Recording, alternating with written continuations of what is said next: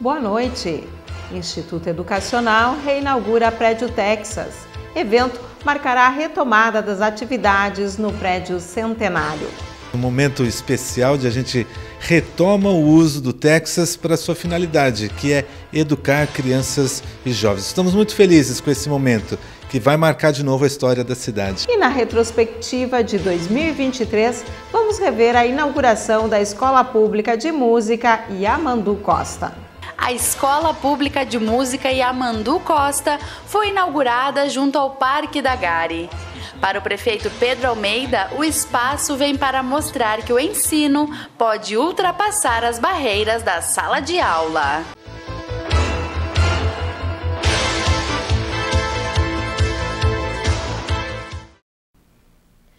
Fundado em 1920 e localizado na região central da cidade, o prédio Texas havia sido interditado em 2015 por questões de segurança. Em 2022, o grupo que adquiriu o Instituto Educacional iniciou um processo de remodelação da estrutura, que buscou preservar traços arquitetônicos originais do imóvel. Com a conclusão da obra, o centenário edifício será reinaugurado e o evento, que marcará a retomada das atividades, foi tema de encontro entre o presidente da Câmara e o diretor-geral do Instituto Educacional. Durante visita ao Poder Legislativo, o diretor-geral afirmou que o Instituto Educacional é protagonista no ramo da educação em Passo Fundo e que a reinauguração é muito aguardada por toda a comunidade escolar. Um momento especial de a gente retoma o uso do Texas para sua finalidade, que é educar crianças e jovens. Estamos muito felizes com esse momento, que vai marcar de novo a história da cidade. Foi muito trabalho, envolvimento inicialmente da nossa mantenedora, da SCB Group, Group, que está investindo no IE assim de forma significativa, né? para trazer o IE de volta no seu papel, no seu protagonismo na educação em Passo Fundo e na região. E ali o Texas é parte desse movimento muito especial, um prédio centenário e que ganha é uma reforma três em um, eu brinco com, com a nossa comunidade, porque ele foi reformado na parte interna, ele foi restaurado, ele foi ampliado. O terceiro andar dele, que era só apenas o sótão, agora ganha uma dimensão nova com laboratórios para o uso das atividades da escola. E a escola também que chega com uma nova proposta, não é? Chega com uma nova proposta, né? É uma proposta pedagógica atual em que coloca os nossos estudantes aí em conversa com aquilo que tem de bom em Passo Fundo, com as suas vocações econômicas e sociais, mas ao mesmo tempo também conduz os nossos estudantes para o que está acontecendo no mundo. Esse tem sido o nosso trabalho diário ali, com o ensino do idiomas, né? É, o inglês, com cinco aulas por semana, com a vinda de duas professoras da Itália no próximo ano para a inserção do nosso projeto de vivências italianas. Muita coisa acontecendo, muita coisa vibrante, com muita alegria. Fica o convite para todos para estarem conosco dia 18 de fevereiro, a partir das 4 horas da tarde, domingo, domingo especial que entra para a história de Passo Fundo. Para o presidente do Legislativo, a história do edifício Texas se entrelaça com o desenvolvimento de Passo Fundo. É, na verdade, a, a, a, este ato de entrega no, do, do, prédio todo revitalizado do IE, do Texas, é para nós uma grande alegria. Né? Eu, eu acredito e tenho muita convicção disto, que o Instituto Educacional, que é uma escola centenária, a história desta, dessa instituição ela se confunde com a história de Passo Fundo. Ali se formaram grandes lideranças, ali se formaram homens e mulheres que hoje estão espalhados pelo mundo, né, fazendo a diferença. Até porque quem estudou e quem estuda no IE é, recebe toda uma orientação, uma formação para fazer a diferença nas suas comunidades. Então, receber este convite para estar presente representando o Legislativo Municipal, representando o Legislativo Municipal que já foi representado em 1920 pelo Gabriel Bastos, né? que é, é além de todas as funções que assumiu como político e como empresário, fundador da CISA que completou este ano também 103 anos de fundação. É uma alegria e é sim um privilégio. Né? Eu, com muita emoção, eu digo que uh, este ato uh, do IE ele faz com que Passo Fundo se, se tem assim mais um motivo para comemorar entre tantas conquistas que nós temos. Por exemplo, agora foi anunciado, nós somos a segunda maior economia do estado do Rio Grande do Sul, passamos Caxias, né? nós somos o principal polo de saúde do interior do estado, somos um principal polo da educação do estado do Rio Grande do Sul, com as nossas faculdades, com a nossa universidade, nós somos um polo de cultura, né? então nós temos só motivos para comemorar nossa cidade maravilhosa e extraordinária e que nessa história tem a caminhada do IE, o gigante do Boqueirão, que nos enche de orgulho. Eu, fiquei, eu fico muito feliz pelo convite, mas muito mais feliz por ver o IE formando pessoas, mas também junto com a comunidade construindo Passo Fundo. Os vereadores integrantes do segundo período do recesso parlamentar realizaram reunião para dar seguimento aos trabalhos da comissão representativa na análise de matérias. O presidente da Câmara, vereador Saul Spinelli, coordenou o encontro que contou com a inclusão de 14 proposições, sendo uma indicação e 11 pedidos de providências. Além disso, constam dois projetos de leis protocolados pelo vereador Michel Oliveira Ambos declaram como bem integrante do patrimônio cultural imaterial do município de Passo Fundo a Igreja Metodista e a Catedral Nossa Senhora Aparecida. A próxima reunião da comissão representativa está agendada para quarta-feira, 7 de fevereiro, às 14 horas. E após o intervalo, você vai rever como foi a inauguração da Escola Municipal de Música. Nós já voltamos.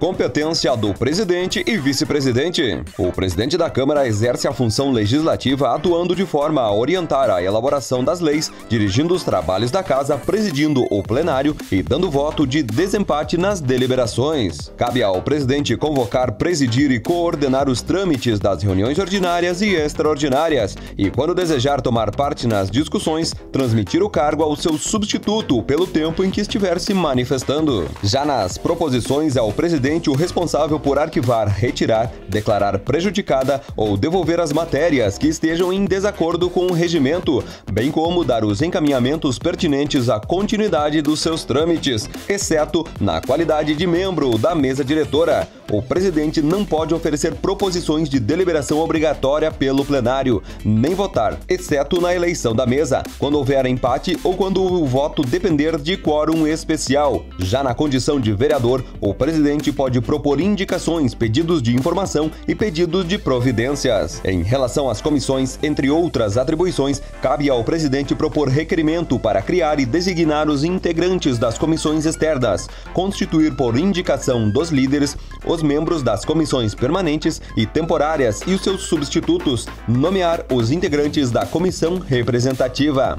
Frente às reuniões da mesa, o presidente deve convocar, presidir, discutir e votar matérias sobre a apreciação da mesma, além de assinar os atos e resoluções da mesa. Ao presidente compete ainda responsabilidades frente a publicações e promulgações, obrigações como zelar pelo prestígio e decoro da casa, convocar período extraordinário, entre outras atribuições previstas no regimento interno. O vice-presidente substitui o presidente em suas faltas e impedimentos, assumindo todas as atribuições do cargo, ainda sempre sempre que o presidente não se encontrar no recinto das sessões na hora do início dos trabalhos e quando delas se retirar após o seu começo, o vice-presidente deverá assumir a coordenação dos trabalhos no plenário.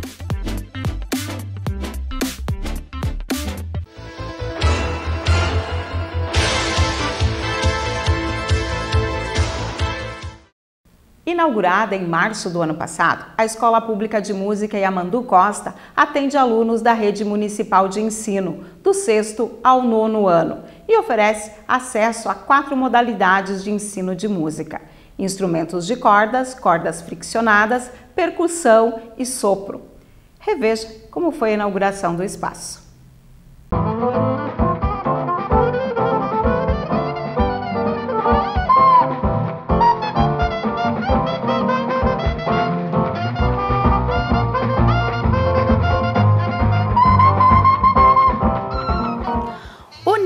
Música à educação de 18 mil alunos da rede municipal de ensino era um sonho da atual gestão municipal. E agora o desejo virou realidade. A Escola Pública de Música Yamandu Costa foi inaugurada junto ao Parque da Gari. Para o prefeito Pedro Almeida, o espaço vem para mostrar que o ensino pode ultrapassar as barreiras da sala de aula. Esse projeto ele tem tem, tem, está todo sintonizado, a sua base é dentro do grande projeto das cidades educadoras. Né? É pensar o ensino é, que completa a escola regular. Né? Então nós criamos as escolas públicas. A escola pública de música é a primeira delas. É, a felicidade de Passo Fundo de ter um ícone como o Yamandu, é, que vai dar nome a isso, que vai trazer a sua experiência também, a sua vivência né? e a sua história de vida que vai inspirar também outras pessoas. Né? Então é um elemento de transformação dentro da educação. É uma ferramenta potente, a música, a cultura, é, para a transformação e criação de uma sociedade melhor. É isso que a gente quer, né? E aí, junto com isso, vem as outras escolas, Escola Pública do Trânsito, Escola Pública da Sustentabilidade, da Inovação e Criatividade, tudo isso dentro do guarda-chuva das cidades educadoras. A Escola de Música também é uma homenagem a um dos maiores violonistas do país e passo fundense Amandu Costa. Filho de músicos, ele fala sobre a felicidade de resgatar ainda o legado deixado pelo seu pai. Uma alegria enorme, vendo um sonho que vem desde a época do meu pai, uma, uma figura apaixonada pela música. Eu me criei num caldeirão de música e eu vejo a continuidade de tudo isso, vejo uma oportunidade, vejo uma semente, não só para Passo Fundo, mas para o nosso estado, para a nossa região, para toda a nossa região, para o Brasil uma, uma oportunidade de, de abrir a percepção dessas crianças. Mais importante do que formar grandes músicos é abrir a percepção das pessoas para a arte, né? Uh, isso que constrói uh, uh, o caráter da pessoa desde os primórdios. A pessoa que tem acesso à cultura, ela é mais sensível, ela lida com a vida de uma outra maneira. Isso que é importante, a gente procurar esse crescimento interno nosso, né? E essa escola faz parte disso tudo. E a Mandu ainda destaca como o universo da música pode transformar a vida das crianças e que deve sim ser ensinado o quanto antes. Eu me lembro que eu perguntava para o meu pai, meu, papai, qual é a importância da música? Ele parava para me explicar, meu filho, é muito melhor que conversar. É, uma, um, é um outro raio de ação, é uma outra comunicação. Né? O som está acima das palavras, né? Então é importantíssimo e pegar isso de pequeno e ter isso no dia a dia, ter isso como qualidade de vida, como você tem que aprender a comer alface, você tem que aprender a ler um livro, você tem que aprender a tocar um instrumento, você tem que caminhar, você tem que se exercitar, você tem que fazer um bando de coisa.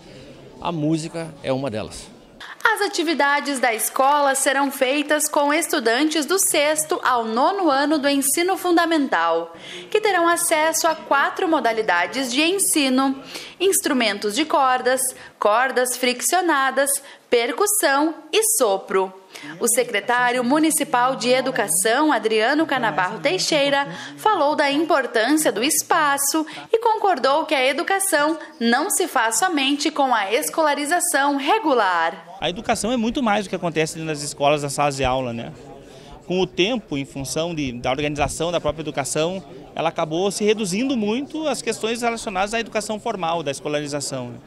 Mas a música é um processo fundamental na formação do indivíduo, né? A sensibilidade, a disciplina, o olhar do mundo, o trabalho em conjunto, né? Então, nunca deveríamos ter perdido esse vínculo da música como um, um veículo da, educacional, né? Então, a ideia da Escola Pública de Música é exatamente isso: criar um contexto para que as nossas crianças de escolas públicas possam desenvolver também essa habilidade uh, musical, né? Ele ainda contou os motivos da escolha de Amandu para dar nome a esse projeto. A gente ter a parceria do Yamandu é muito significativo, porque ele é passafundense, porque ele é um músico que ajuda a alargar, inclusive, a concepção de mundo dessas crianças. Né? Puxa, se ele que é de Passo Fundo, a música levou ele tão longe, né? Por que, que não pode fazer isso comigo também? Então, a ideia da Escola Pública de Música, desse espaço e dos quatro espaços que nós temos na, na, na, no território, né? é exatamente isso, proporcionar para as crianças o que tem de melhor em infraestrutura e oportunidade uh, e em pessoas também, os instrutores, né? são músicos de alta qualidade para que eles possam desenvolver essa vertente musical que todos nós temos. E a Câmara de Vereadores não poderia ficar de fora. Durante o ano de 2022, os projetos que permitiam a criação da escola tramitaram no Legislativo e foram aprovados de forma unânime. O Legislativo tem essa função. Toda aquela iniciativa que nos é encaminhada e que é importante para a comunidade vai ter sempre o apoio da maioria dos vereadores, como teve nessa situação. Então, me sinto muito feliz, muito satisfeito estar aqui representando os 21 vereadores. Todos colaboraram, todos ajudaram para que isso acontecesse. Sem dúvida nenhuma, isso aqui é um marco. A partir desse momento, Passo Fundo, tenho certeza absoluta que cresce cada vez mais a nível de mundo. Porque nós estamos garimpando pessoas, crianças, buscando vocações que estão nas escolas, que muitas vezes é uma vocação sufocada vai ter oportunidade de aflorar essa, essa, essa vocação. E então a Câmara de Vereadores só pode se ficar muito feliz pelo evento. Claro, vamos dar um crédito muito grande aqui à sensibilidade do nosso prefeito em ter tomado a iniciativa, nos encaminhado essa proposta, que hoje é uma realidade. O vereador Michel Oliveira também falou do privilégio de estar participando desse momento, especialmente por ser o autor do projeto que resultou na lei que instituiu a Semana Municipal de Música em Passo Fundo. Privilégio enorme estar compartilhando esse momento especial para toda a comunidade e estar na Semana da Música também, Lei 5.693 de 2023, uma lei que foi construída junto, está aqui o nosso amigo professor Alexandre Sajorato, que é do curso de música da UPF, que completou 70 anos no ano passado, veio até é, primeiro que a, que a UPF, né? então é simbólico, é junto com a Semana da Música da UPF, quero destacar isso, projeto que foi feito de maneira coletiva, pensando na valorização dos nossos músicos de Passo Fundo e, em especial, tudo o que vem acontecendo no cenário da nossa cultura eh, municipal. Eu penso que a cultura é para todos e deve ser para todos. Né? Então, a gente quer, por meio dessa lei, deixar eh, esse legado que transcende gestões, que vai transcender governos né, e que isso venha a ser permanente, que de fato venha, além da valorização dos nossos músicos, dos nossos artistas, venha oportunizar através de projetos sociais o grande poder que a música e a cultura têm de transformar vidas para melhor.